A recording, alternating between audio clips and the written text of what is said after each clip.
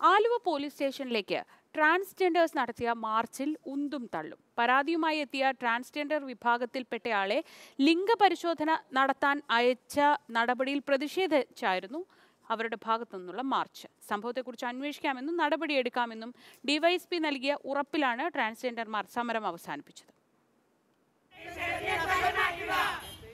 മൂന്നാഴ്ച മുമ്പ് ആലുവ ദേശം മേഖലയിലെ കടവിൽ കുളിക്കാനെത്തിയ ഭിന്നലിംഗക്കാരോട് അപമര്യാദയായി പെരുമാറിയ സംഭവത്തിലെ പരാതിക്കാരോട് മോശമായി പോലീസ് പെരുമാറിയെന്നാരോപിച്ചാണ് ആലുവ സ്റ്റേഷനിലേക്ക് മാർച്ച് നടത്തിയത് പരാതിയുമായി എത്തിയ ട്രാൻസ്ജെൻഡർമാരെ ലിംഗപരിശോധനയ്ക്ക് അയക്കാനെത്തിയ പോലീസ് നടപടിയാണ് പ്രതിഷേധത്തിന് കാരണം പ്രതിഷേധക്കാരെ ബാരിക്കേഡ് ഉപയോഗിച്ച് പോലീസ് തടഞ്ഞതും പുരുഷ പോലീസ് സംഭവത്തിൽ ഇടപെട്ടതും പ്രശ്നം വഷളാക്കി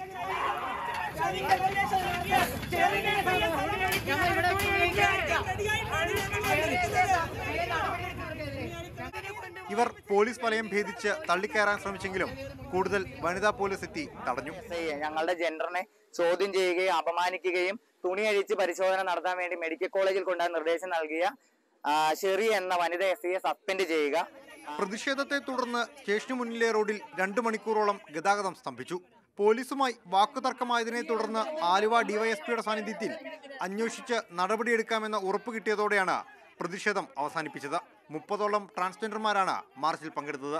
എന്നാൽ പരാതിക്കാർ ഭീഷണിപ്പെടുത്തി പണം ആവശ്യപ്പെട്ടു എന്നാരോപിച്ച് ട്രാൻസ്ജെൻഡർമാർക്കെതിരെയും പരാതി നിലവിലുണ്ട്. മാതൃഭൂമി ന്യൂസ് കൊച്ചി.